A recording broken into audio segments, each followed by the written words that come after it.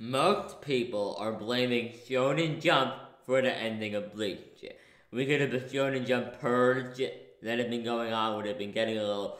They've been getting rid of a lot of their older theories, getting rid of those, and replacing them with newer ones. Bleach with Red Bright, and Nisekoi would replace with a Promise of the Neverland or something like that. The point is, and a lot of people are blaming Shonen Jump for Bleach's ending. While placing rushed ending is uh, mostly Jump's fault, you can't entirely blame them for it. You really can't. Kubo is at fault too. The final arc of this series started at chapter 480 and ended on chapter 686. Think about that for a minute. How long is that? That's a long, that's a long, long ass arc. That's a long ass arc. That's what? Yeah, that's, over like, that's over 200 chapters. Yeah, that's over 200 freaking chapters. I mean, my god, what the hell, Kubo? And there are times, I think when Kenpachi released his Shikai and Granny brought down the meteor. At the end of one chapter, Granny bring down, bring down the meteor, and we think Kenpachi be like, Roar, Nozarashi, or some shit like that.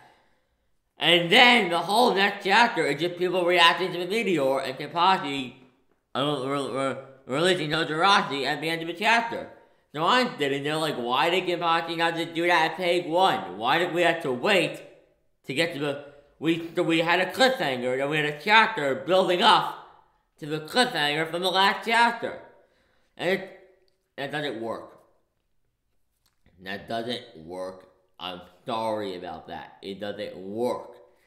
It bothers me and it bothers you. It bothers everyone, right? But it doesn't work. It's annoying in content of the series. It annoyed the fandom, but it also dragged out the arc. The Thousand Year Blood War arc was dragged out. There were things that were dragged out. Kubo started off like the Toshiro zombie thing. That was never that wasn't really too necessary. Instead of just getting straight to the point, Kubo had all these other things going on. And that was where Kubo failed in the content of this arc. Now where he failed. He could it just you actually Kubo had to have moved along faster. Progressed the story faster. I guarantee you there would not have had to been such a rough ending if he had been closer to it. He if he had been like 15 chapters away, Jump probably would have been like fine. I would say if Kubo in a perfect world were probably another when probably like 50 or 60 chapters away. He probably wanted to go into like January February, mid 20, mid 2017.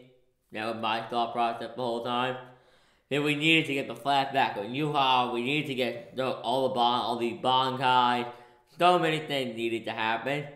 Kubo did not have time to do all that. He would have needed to go into 2017. And I think he said to Jump, I, I need to go into like 2017. And Jump turned around and said, No, we're sorry. You've been doing this art for like six years now.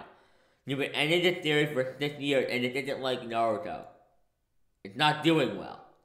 Bleach was not doing as well as Naruto. Naruto was doing very well. It was on the number two place